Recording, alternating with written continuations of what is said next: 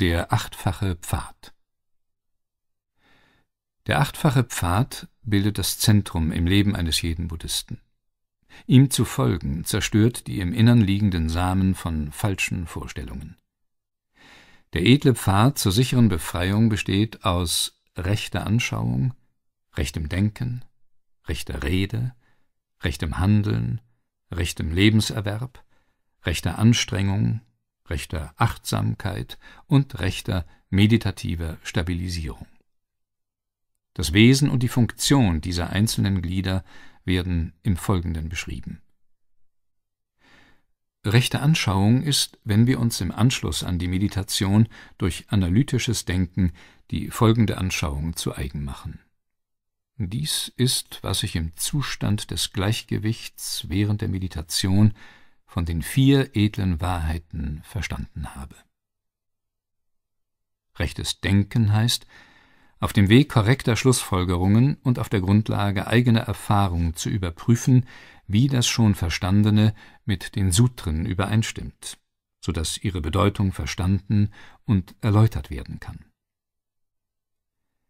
Rechte Rede bedeutet, anderen das Wesen der Wirklichkeit durch Lehre, Diskussion und Schriften aufzuzeigen, ohne die Verzerrung einer auf Konventionen beruhenden Sprache und sie zu der Überzeugung zu leiten, dass dies die vollkommene Anschauung ist.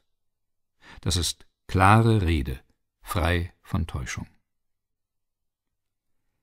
Rechtes Handeln ist auf Klarheit beruhendes Handeln, das andere davon überzeugt, dass alle unsere Aktivitäten mit der Lehre übereinstimmen und mit aufrichtigen ethischen Vorstellungen harmonieren. Rechter Lebenserwerb überzeugt andere davon, dass unser Lebenserwerb angemessen ist, nicht vermischt mit Erzeugnissen eines unehrlichen Einkommens und frei von manipulierendem Verhalten, schmeichelhafter Rede und so weiter. Rechte Anstrengung bedeutet, wiederholt über das Wesen der Wirklichkeit zu meditieren, die bereits erkannt wurde, um dadurch ein Gegenmittel für die Illusionen und Täuschungen zu finden, die es auf dem Weg der Meditation aufzulösen gilt. Rechte Achtsamkeit bedeutet, den Gegenstand der Meditation beständig festzuhalten, damit Ruhe und Einsicht entstehen, welche als Mittel gegen die durch mangelnde Achtsamkeit verursachten Täuschungen wirken. Rechte Sammlung bedeutet, meditative Stabilisierung aufzubauen, die frei ist von ihr gefährlich werdender Nachlässigkeit oder Aufgeregtheit. Auf diese Weise dient sie als Heilmittel gegen auftretende Hindernisse und führt zu fortschreitender Verwirklichung der Qualitäten des Pfades. Der edle achtfache Pfad. Ein Weg, der aus dem Leiden herausführt. Einige Menschen halten den Buddhismus für eine sehr pessimistische Weltanschauung. In den buddhistischen Lehren heißt es, dass alles leer ist.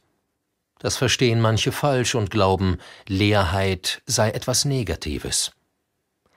Es ist richtig, dass im Buddhismus davon gesprochen wird, dass wir leer von einem eigenständigen, abgetrennten Selbst sind. Doch wir sind erfüllt vom ganzen Universum. Der Buddhismus kennt viele Tore zur Einsicht, viele Objekte der Konzentration und Praktiken des tiefen Schauens. Es gibt Menschen, die nur die Unbeständigkeit betrachten und dadurch erkennen, wie alle Dinge sich stetig ändern. Sie nutzen lediglich das Tor der Unbeständigkeit, aber das kann für sie das Tor zur Erleuchtung sein. Andere betrachten Leerheit, und auch sie können Erleuchtung erlangen. Wieder andere erkennen bei der Betrachtung des abhängigen Entstehens dass viele Bedingungen erforderlich sind, damit sich etwas manifestieren kann. Sie sehen eine Flamme und wissen, dass nicht nur ein Streichholz, sondern auch der Sauerstoff, die Schachtel und die Person, die das Streichholz entzündet, zusammenkommen müssen, damit sich die Flamme manifestieren kann. Schauen wir tief in ein Tor hinein, erkennen wir auch alle anderen. Die Erkenntnis, dass es viele Wege zur Erleuchtung gibt, ist die Frucht unserer Praxis und bildet den Boden, die Grundlage von Moral und Ethik. Es gibt viele verschiedene Weisen der Konzentration, aber welche wir auch immer praktizieren, es muss rechte Konzentration sein. Wenn wir tief in die Natur des Leidens, unseres grundlegenden Unwohlseins schauen, erkennen wir, wie viel Spannung, Schmerz und Leid es in uns gibt. Unser Leid ist in unserem Körper, in unseren Beziehungen, in unseren Emotionen angesiedelt, und dies beeinflusst unser Denken und Handeln in der Welt. Vielleicht fragen wir uns, was der Buddhismus tun kann, damit wir Spannungen, Schmerz und Leid auflösen können.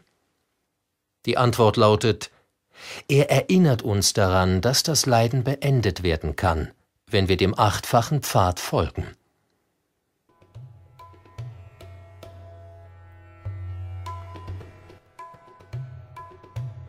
Música